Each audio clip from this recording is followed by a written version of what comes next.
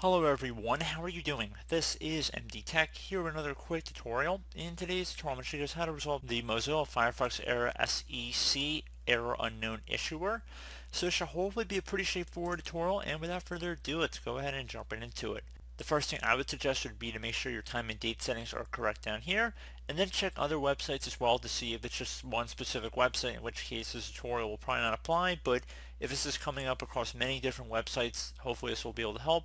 And if other browsers are working fine as well, that's definitely a sign that this tutorial will probably be pertaining to your case because we're going to be opening up Mozilla Firefox here.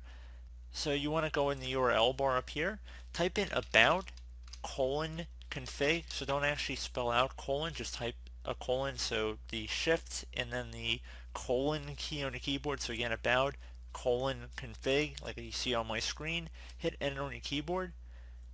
Select I accept the risk and now I'm going to have something in the description video if you want to copy it. Otherwise, you can go into the address bar here and just type in security.enterprise.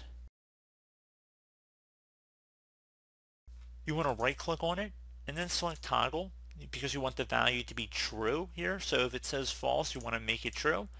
So now go ahead and just navigate over to whatever website you were having the problem with before and hopefully your issue has been resolved.